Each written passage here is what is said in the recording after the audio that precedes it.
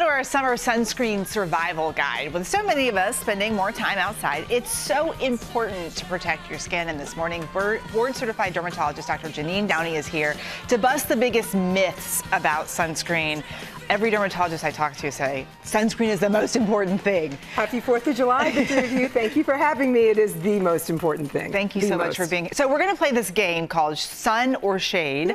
I'm going to read a statement about sunscreen and using these paddles over here, my fellow anchors mm -hmm. will mm-hmm. hold up sun if it's true or It's going to be all shade. A lot of shade comes from this side. if it's false. All shade over here. Are you guys ready? yes. yes. Okay. So here's the first question. The higher higher the SPF, the better the sun protection. Okay, so that is just not true. Yeah, absolutely I'm not. I'm going shade. Absolutely not true. Shade, shade, shade, shade. Um, and the reason why is because an SPF of 30 gives you about 97% protection from the sun's rays. After that, all of the sunscreens pretty much level off. So even an SPF of 70 or above really is not doing that much. That's according to the Skin Cancer Foundation. So what you want to look for first is you want to look for a higher sunblock, SPF of 30 or more, and then put it on every two hours. If you're here in New Jersey, if you're down in Miami, closer to the equator, then perhaps it's every hour. Then next you want to look and make sure it's UVA and UVB. It's both because a lot of them are not both, okay? And then finally, you want to make sure it's water resistant. That is an S, like SPF that will last at least 40 minutes in the water, you know, that type of thing. But I tell people if you're getting out of the pool, if you're getting out of the salt water, put it back on right away. If you just played a tennis match, put it back on right away. Finally, if you're not sure what you're doing, then go to the Skin Cancer Foundation recommended, recommended sunscreens because they know what they're doing and they've done the legwork for you. Easy peasy. Yep. Yep, yep, yep. Okay, so the next question. Ready, guys? We're ready. Spray sunscreen is less effective than lotion. Going sun.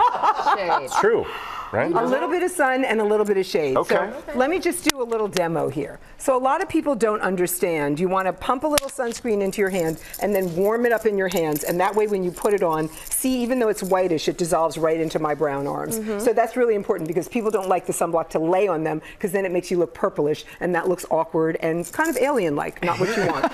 so I tell everybody, put the sunblock on after it's warmed up all over your face, all over your neck, all over your ears. But if you're going to use a sunblock spray, that's that's fine. Just be methodical and apply it in a grid-like like fashion so you don't miss anywhere. And miss spots are the back of your neck and the tops of your feet and the backs of your knees in most cases.